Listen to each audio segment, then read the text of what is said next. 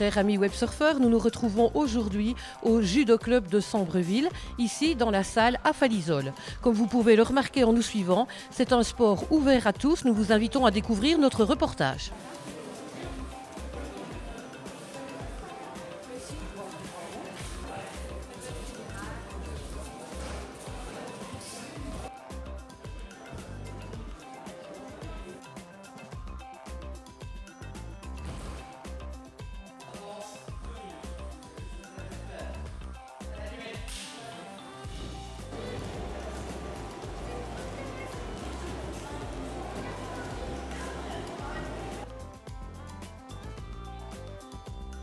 Monsieur Van Bergen, bonjour. Bonjour. Vous êtes le président du judo club ici à Sambreville. Oui, bien sûr. Dites-moi, c'est quoi le judo? Le judo, c'est en fait une, c'est une question fourre-tout parce que parce que c'est c'est simple et varié et nombreux. C'est- En fait, c'est- c'est très personnel. Le judo, pour certains, c'est juste un amusement. Pour, d'autres, c'est un art de vivre. Pour d'autres, c'est juste un sport. En fait, en fait, le judo, c'est c'est- c'est- c'est- c'est ce qu'on veut en faire et ce qu'on en fait à chaque instant. Et le judo pour vous, comment le définiriez-vous? Pour moi, le judo, c'est un, c'est- tout à la fois. C'est un petit peu tout ce que je fais tous les soirs. C'est c'est une rencontre avec des gens intéressants, des gens bien, des gens, des gens qui ont besoin de se bouger, des gens qui veulent faire des choses et, et de les vivre au, au quotidien. Le judo club ici à Sambreville, comment le définiriez-vous? Comme un, club, en général, c'est ce qu'on dit toujours entre nous, c'est un club très familial. C'est-à-dire qu'il est ouvert à tous et que chacun y trouve ce qu'il a envie de trouver. Que ce soit les, compétiteurs, nous en avons de, de très bons, de très forts, des, jeune international et des, jeunes qui font des résultats. Et puis c'est un club aussi pour les personnes plus âgées qui ont envie de se bouger et de se retrouver entre amis, comme ou de, de- de- de- de vivre euh, des rencontres et de, de- de s'amuser et de rigoler. Disons-le carrément, on s'amuse bien. Les judokas ici, c'est de quel âge à quel âge? Nous avons quatre cours, ça part de 5 ans jusqu'à 57 ans. Et je suis un petit peu embêté de le dire, c'est quand même moi le plus vieux ici, à 57 ans. On compte euh, actuellement, alors que nous sommes encore plus ou moins au début de la saison, on a déjà à peu près 180 licenciés actuellement. D'accord.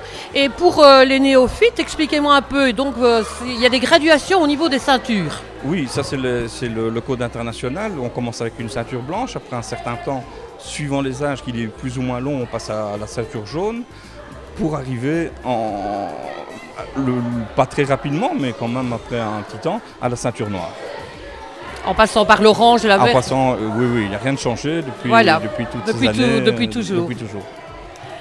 Qu'est-ce que vous diriez pour, euh, pour suggérer aux enfants, aux jeunes, de venir ici faire un essai et pourquoi pas devenir des, judokas Il faut tout essayer. Et tant qu'à essayer quelque chose, autant essayer quelque chose de bien.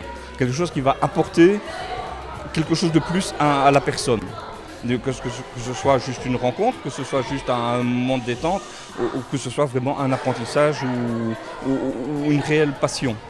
Nous, avons d'ailleurs quelques jeunes qui sont devenus, depuis qu'ils sont arrivés, qui sont vraiment devenus des passionnés de judo, qui vont, qui veulent vraiment en faire quelque chose. Est-ce que vos judokas sont de la commune ou ils viennent d'ailleurs? Il y en a d'un peu partout, euh, probablement ici le- une grosse partie de, de Falisol, mais on en a de partout de Sambreville. Moi-même, je viens de Fleurus. Euh, on a des gens d'un peu partout, on a, on a des gens qui viennent de Saint-Denis, de- de- du Brabant wallon, euh, c'est de- de- de- de- des gens qui viennent de, vraiment d'un peu partout euh, dans la région.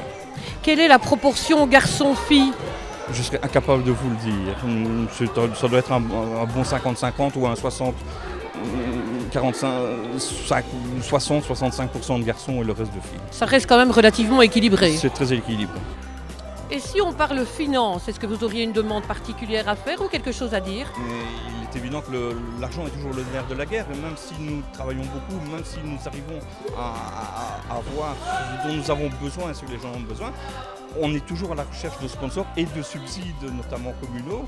Euh, donc je, lance d'ailleurs un appel à, tous les, les responsables politiques, parce parce qu'on ne gère pas ça comme, euh, comme on le veut, et parce que les enfants ont des besoins et qu'on essaie toujours de satisfaire au maximum ce qu'ils leur demandent.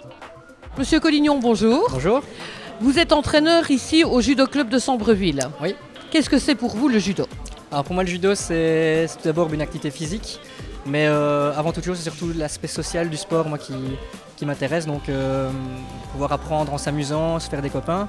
Donc aussi bien pour les jeunes que pour les adultes.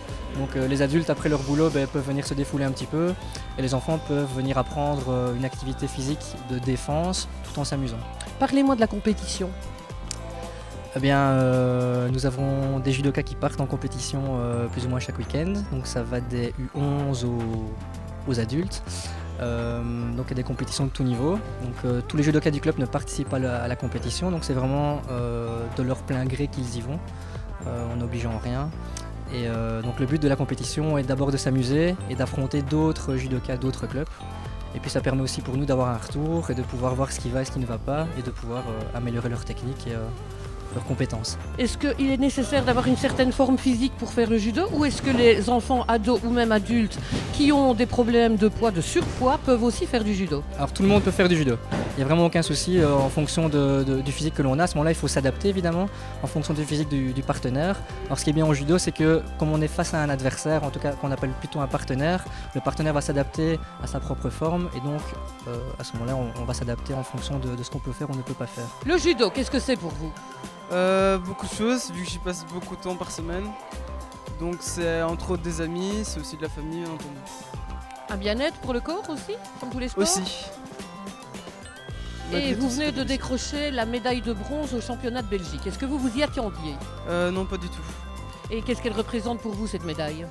Euh, De la joie étant donné que je m'y attendais pas, parce que c'était vraiment une surprise.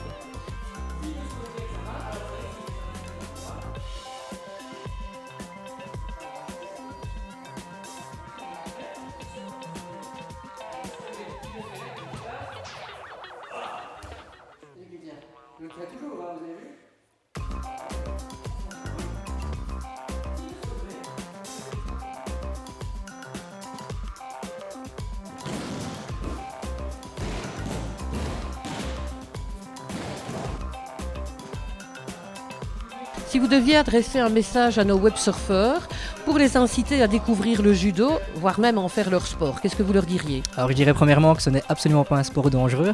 Donc si on regarde les statistiques, euh, les blessures en football sont beaucoup plus importantes euh, qu'au judo. Donc c'est un sport qui permet à la fois aux enfants qui sont très très réservés de pouvoir s'épanouir et euh, de s'extérioriser un petit peu. Et aussi les enfants qui sont beaucoup plus extériorisés, je vais dire, de pouvoir apprendre à se calmer et à canaliser leur énergie.